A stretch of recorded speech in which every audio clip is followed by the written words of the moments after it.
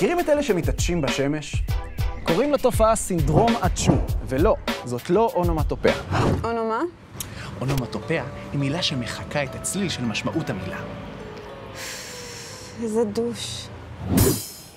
אצ'ו הם ראשי תיבות של Autosimal Dominant Compelling Helio-Ophthalmic Outbursts, או בעברית, התפרצויות אופטיות שמשיות דומיננטיות מבחינה תורשתית. סינדרום קיים אצל קרוב לשליש מהאוכלוסייה, הוא תורשתי ודומיננטי. מספיק שאחד ההורים מחזיק בו כדי שהצאצא יירש אותו, כולל מספר היתושים המדויק בזמן חשיפה.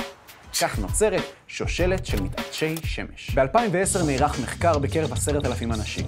הם התבקשו להגיד האם הם מתעטשים בשמש, ואחר כך למסור דגימת DNA. תתברר שהרצף הגנטי של האנשים שיש להם את הסינדרום שונה באות אחת מהאחרים. אז איך הסינדרום מוביל ליתוש? לא לגמרי ברור, אבל יש תיאוריה אחת מובילה מתחום הנוירוביולוגיה. גיבש אותה הנרי אברט ב-1964. בגדול היא מדברת על בעיית חיווט במוח. העצב המשולש, העצב הגדול ביותר בראש, אחראי על כל תנועות הפנים, מגלגול עיניים ועד צקצוק. בנוסף, הוא אחראי על פעולת ההתעטשות. הדרך של הגוף שלנו להגן על עצמו בכל פעם שנשלח שדר מהאף שמודיע, משהו מפריע לי. כדי לשלוט על כל מה שקורה בפנים, העצב המשולש מסתעף לכל אורכם, ובין השאר גם עובר סמוך מאוד לעצב הראייה, כמעט עולה עליו.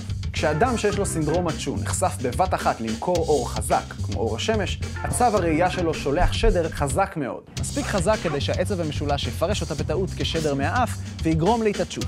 זה לא מסוכן, כל עוד אתם לא מתעסקים במכשור כבד או במוטוריקה אדומה. שיהיה לבריאות.